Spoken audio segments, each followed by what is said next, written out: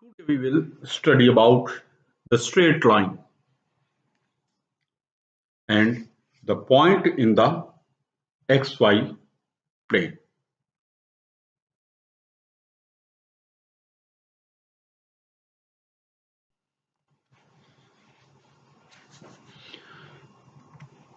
The graph of this equation ax is equal to b is always a straight line in the xy plane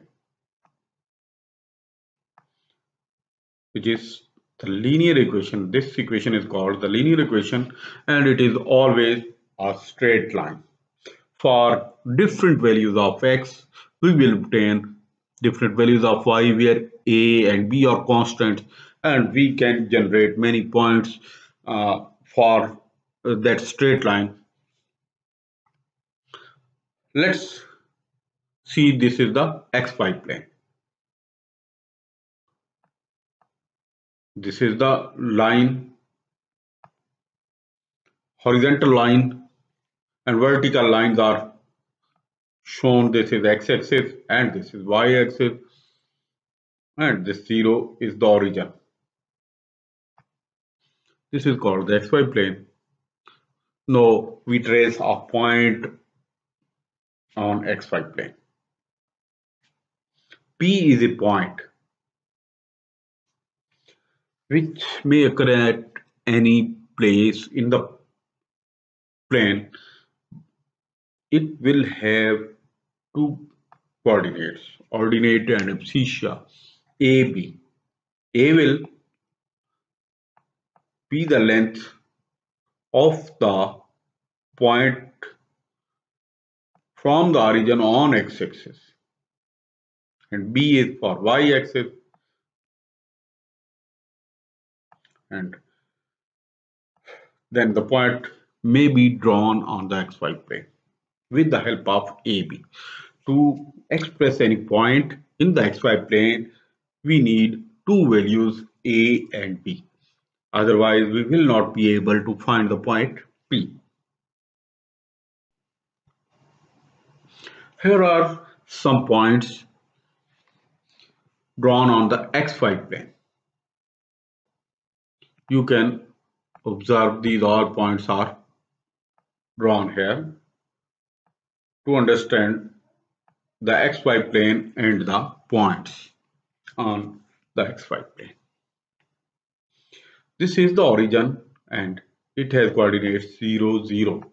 While if you will remain on the x-axis, your y coordinate will always will be 0 and on the other hand if your point is on the y axis your x coordinate is always 0 just like these two points.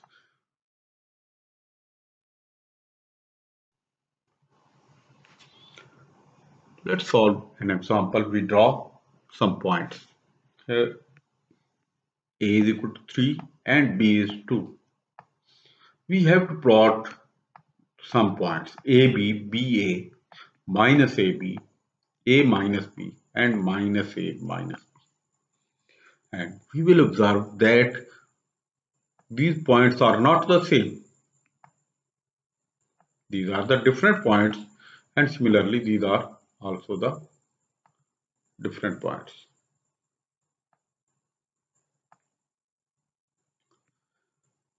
First we find the values of these points. AB will be 3, 2, BA will be 2, 3 and similarly the other points are mentioned here.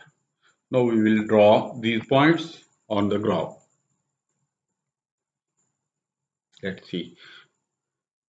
3, 2. You will go on x-axis up to 3 units and y-axis on 2 units. Then you will trace your point 3 2 which lies here.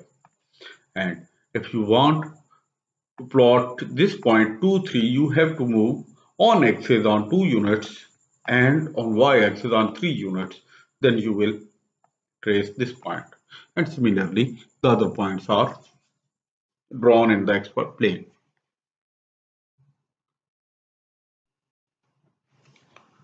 Yes this is the straight line P2 to P1.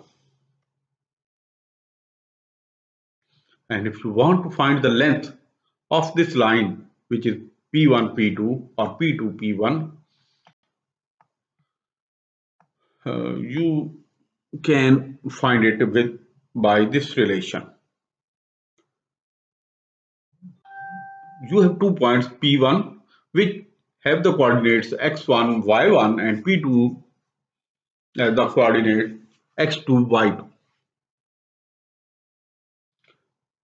You need this length and how this length can be calculated. This is the difference between x1 minus x2. This is the length of x1 minus x2. And now you have to calculate this thing while we have y1 and y2 and this is the difference of y1 and y2 now we know about the Pythagorean law. And using the Pythagorean law we can find p1 p2 which is the length of a line from a point p1 to p2 or p2 to P1. And the distance formula is shown here. Square root of x1 minus x2 square plus y1 minus y2 square where p1 has the coordinates x1 y1 and p2 has the coordinates x2 y2 and using this formula we can find the distance from P1 to P2 which is denoted as the P1 P2